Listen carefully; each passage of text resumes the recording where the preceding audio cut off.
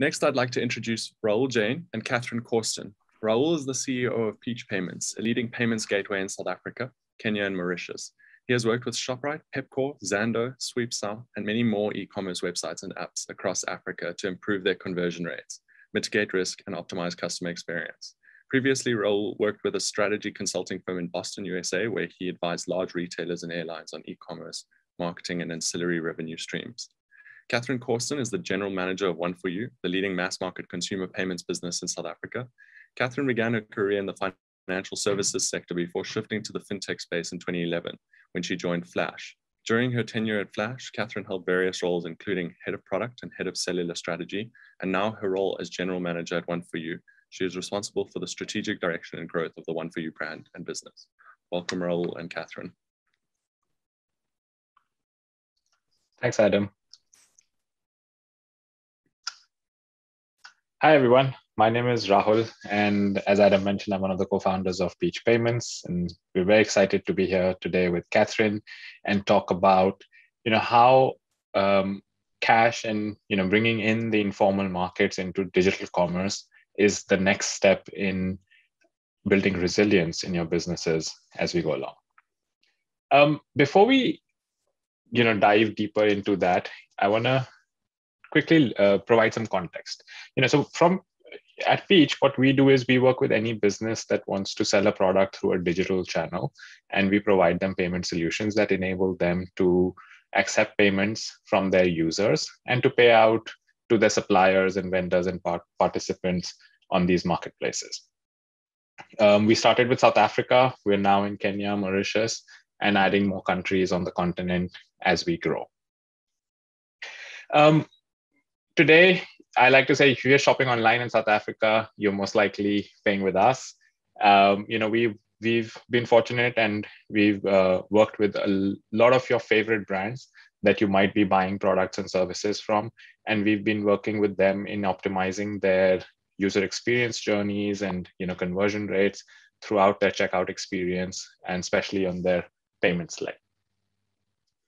Um, over the past one and a half years, what we, what all of us have experienced, you know, through the whole COVID nineteen pandemic, is has been a shock to the business environment, right? So, you know, before we talk about resilience, it's important to understand, you know, what is this shock and how does it impact your business today, right?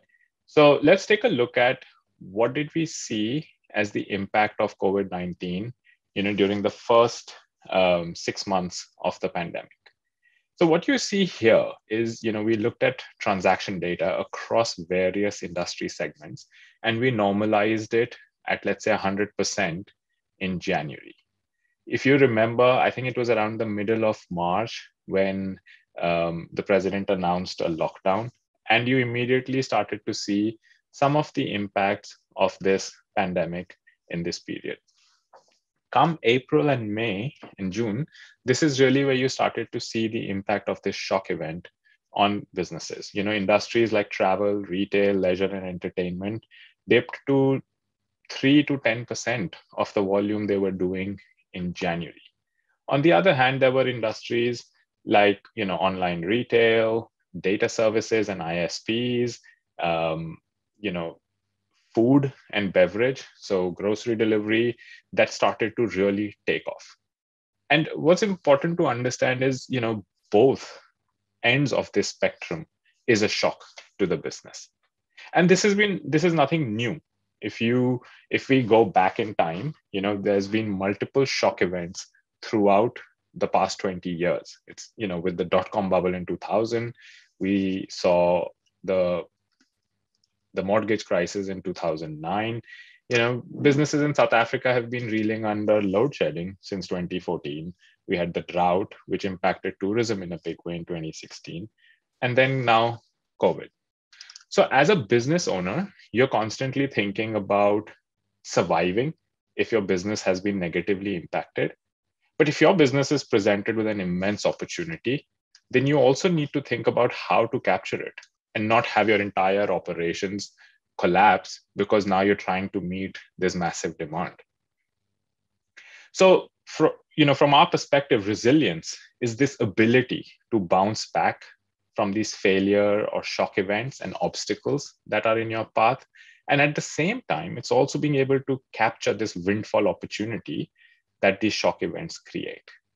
So as a business owner, you're constantly thinking about, you know, how do you plan to use these shocks to your advantage? So planning for resilience means that you give your business every opportunity to grow and scale. Um, so the next question is, okay, how do you, how does digital commerce help you build resilience? You know, so if I again look back to early 2020, what we saw was a variety of different tactics that businesses were employing. You know, April to middle of May was a hard lockdown. So physical stores were closed. We saw a lot of our online retailers pull in sales, even though they could not deliver the product, but pe- consumers were still buying on the premise that once deliveries are allowed, we'll get our product. People were, you know, restaurants were selling vouchers um, and taking deposits for uh, future meals, right? Wine farms rallied around restaurants and decided to offer wine as a as a gift on each of these voucher sales as an incentive. So question is, you know, how do you think about your products and your services and how do you use digital commerce as a tool to help build resilience in your business? So what we decided to do today was to just give you, walk you through this journey and how you can think about it. You know, it all starts with your product. So what product or service are you selling? how would that work on a digital channel? You know you might say oh but my product's not a standardized product that can be sold through a website. Actually it doesn't matter. What it doesn't mean that you cannot sell digitally. It only me- changes what tools you will use to sell the, your product and service.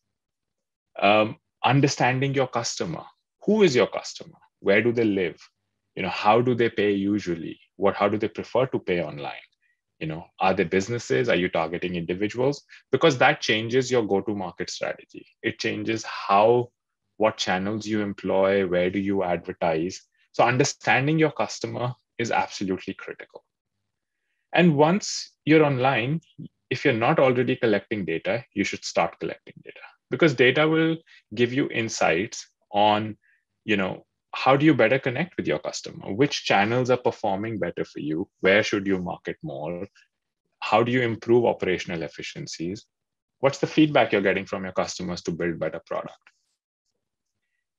And each of these three elements basically starts to point towards a tech centric business model.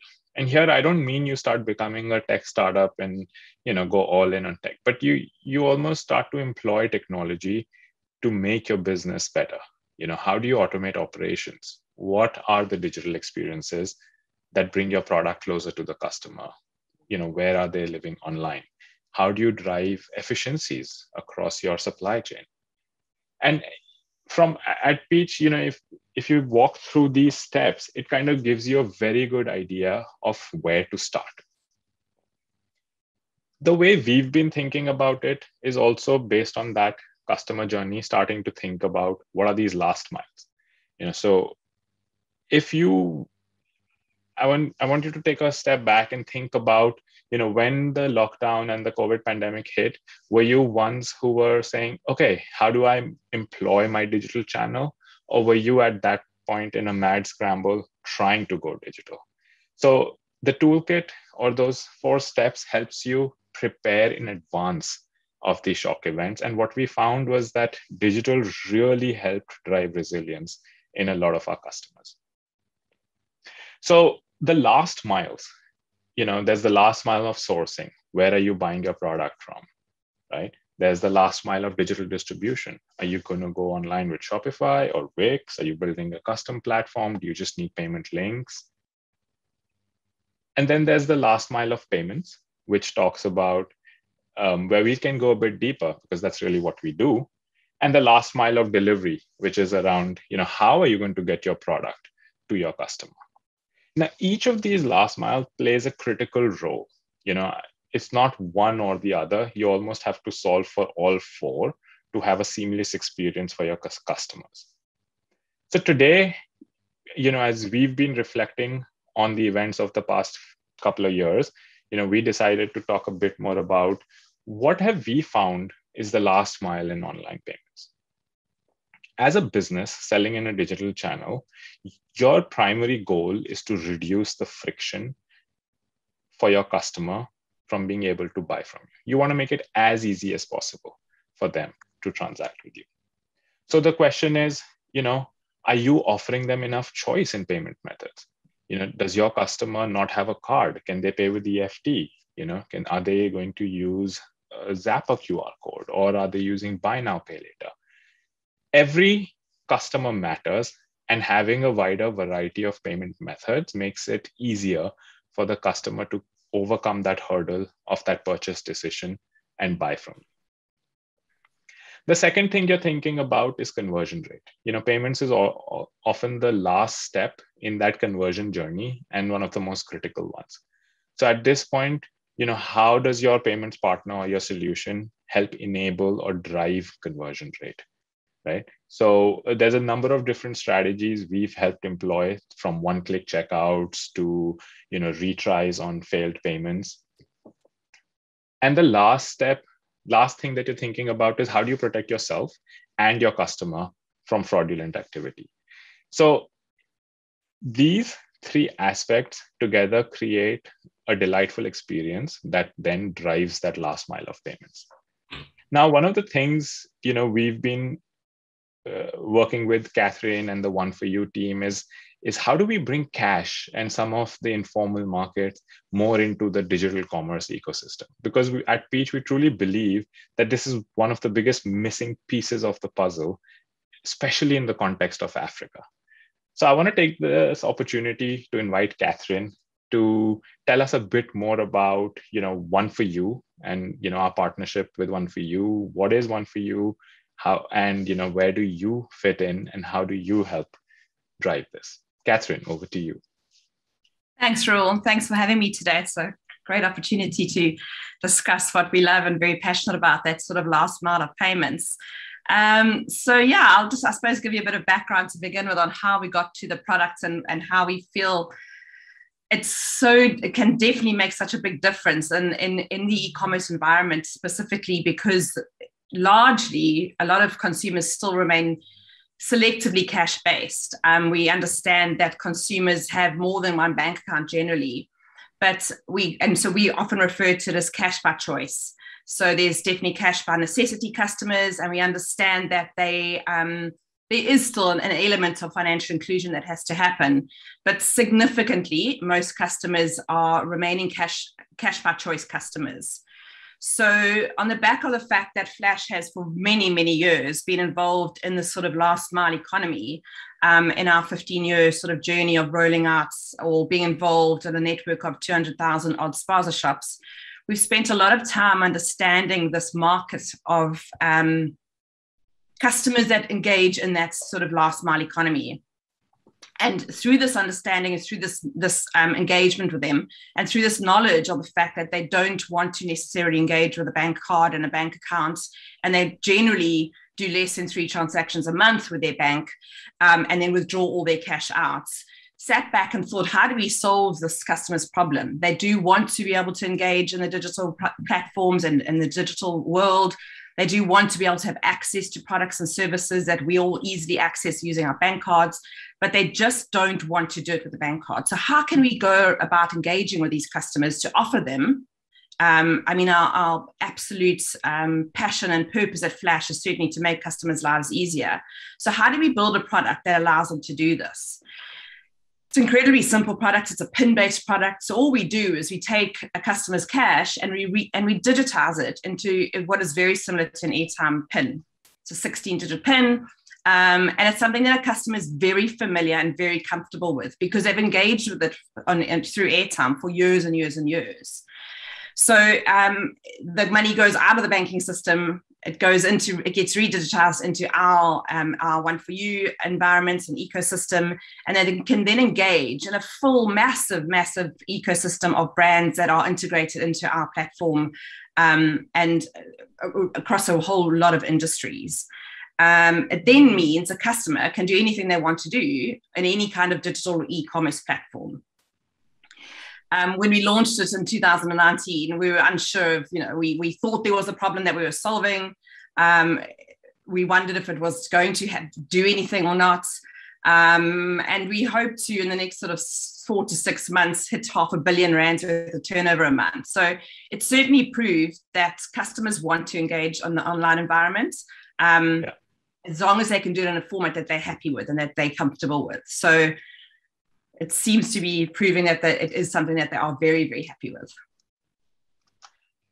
Amazing, Catherine. So, Catherine, why should you know why should merchants or partners care about this customer segment? Um, yeah, what have you guys I suppose I suppose um, every marketer in this country refers to it as the mass market. And it's not, I mean, they are, right and wrong. And it's a passion point for us. And it's something that I feel very strongly about. And I always say the only reason it should be referred to as mass market is because of the absolute scale of the marketplace out there. Um, in every other way, it should never be lumped together as one customer base called mass market. Um, the nuances and the differences in the and you know that mass market should be broken down into so many different segments from that point forward so we do we spend a lot of time at one for you because our customers are so important to us doing a massive amount of one-on-one qualitative research to understand what customers really really want. Um, they have problems just like we do in life um, and we make sure we try and solve problems for them. And i think if the e-commerce um, partners and um, your, you know, everyone that's listening kind of understand that what the customers out there need and want um, is they want some things that are very similar to what every other consumer wants. They want access, they want convenience, and they want quality and value. Mm. So the differences here is that it means something so significant to these consumers' lives. Um, so sometimes, you know, a five rand coin or a 10 rand note in our lives means very little. Um, in some of these consumers' lives, when they're shopping online, that can mean an entire day's worth of electricity. Mm. So it's it's this mass amount of consumers that are available to every brand out there to tap into. But before you can do it, you've got to understand what their problems are, and you've got to start to help solve them for them. Um, taxi fares are hugely problematic for customers it's so simple and it's such simple things that can be solved for them when they have to go and shop in a store they catch a taxi there one way, which is prohibitively expensive. When they ta- catch, catch a taxi home, they then have to catch they have to book the seat next door to them or pay for the seat next door to them too to get the goods home. So that it becomes prohibitively expensive to shop. So once so so once you understand the problems that the customers have, um, but you also then understand the scale of the opportunity that exists, and you're able to then take the time to sit back um, and address those problems for the customers in ways that make real differences to them. Um, the opportunity is enormous. Um, but it really does take a bit of nuances in what you do and what you address to the, for those customers.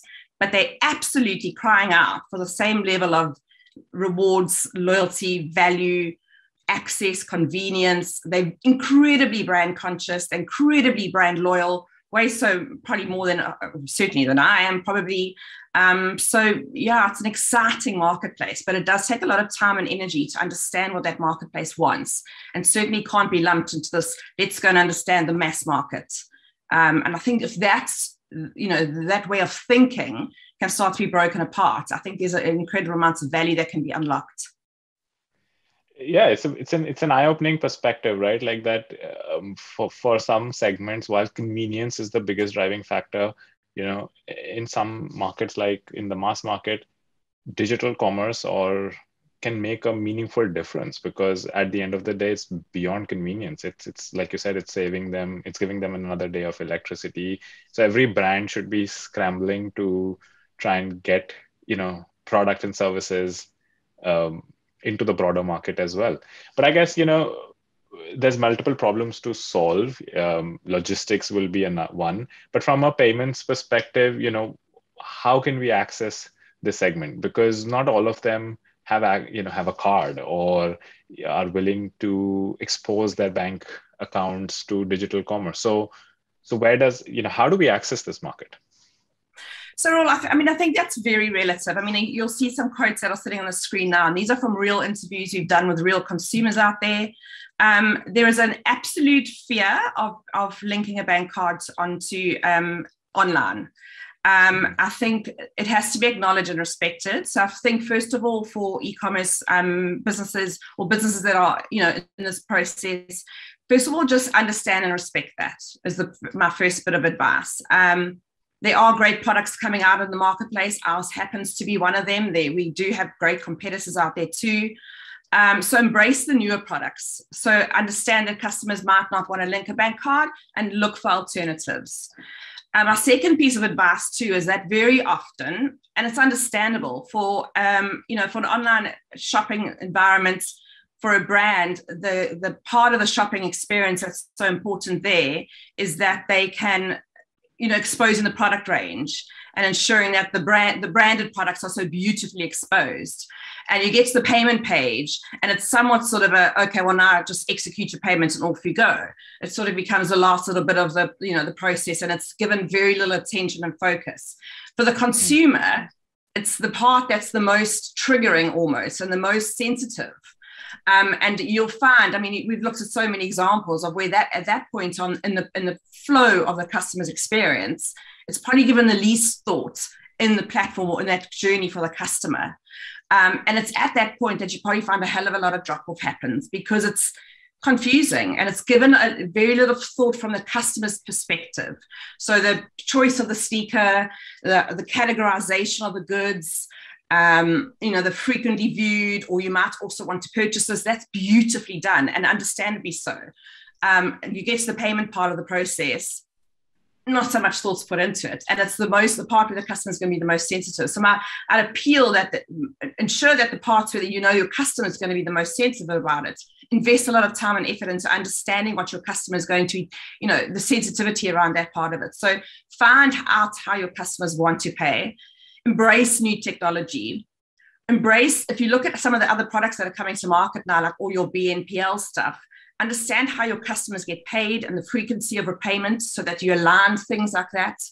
Um, and then understand how to um, enhance that part of your checkout process to make sure your customers start to get peace of mind and invest in education on that part of it too um, I think that will make such an enormous difference to this customer uh, segment and their experience on e-commerce. So, Catherine, one last one uh, quick blurb on like how does one for you work? So, what how does one for you bridge that cash economy into digital? Like, can you just walk us through the a quick overview of the product journey? Like, so what does a consumer do with one for you, and sure. you know, how do we how are you working together? Super super simple product. So essentially what we are doing with peach is we are obviously we're integrating your we, we've done an integration into your platform. From a customer journey perspective it's ubiquitously available and that's what's so critical. So a customer could be sitting at home um, in the most rural area to be honest. They can do the e-commerce transaction on their phone. They could get to the point of the payment part our one for you voucher is available at every one of our 200,000 spaza shops across the country. So generally, a spaza shop is a couple of meters from everybody's home, as well as across all mul- multiple amounts of national retailers, and then in some of the banking uh, plat- digital platforms as well. So once they know how much they want to spend, they can go and purchase a one for you voucher. Um, and then if the, you know, if someone that's using Peach would then be able to add one as a payment option. The customer then simply inputs a 16 digit PIN that they purchased. It's literally a hmm. slip of paper. They input the 16 digit PIN. Um, if it's obviously a rounded number, so if the, the sale doesn't equal the amount of the voucher, we return a change voucher to that customer by uh, using an SMS functionality, they get the change sent to them on their phone number and the sales concluded. Um, so the trick about this product is absolutely its simplicity. Um, they, there are no transaction fees to a customer ever. It's completely free. And cash is king, and you're taking away that fear of linking yeah. their bank cards online. Absolutely. So, and yeah, and, and you know that's really one of the reasons why we working with you guys and partnering and bridging this uh, big gap in digital commerce um, and bringing cash into the fold. So very excited to uh, work with you. And for everyone listening, you know, we we've got a um, wait list on www.peachpayments forward slash one for you as one number one F O R Y O U. So let us know if you're keen. We will be launching um, in a full launch towards the end of the year, early next year. Um, and we're going to do some testing and piloting for now. But I'm really looking forward to this, Catherine. I, I feel this will be a game changer in digital commerce in Africa. As are we. Thanks Thank very so much, much for having me. Thank you Thanks very much. today. Thank you. Thank you, Rahul. Thank you, Catherine.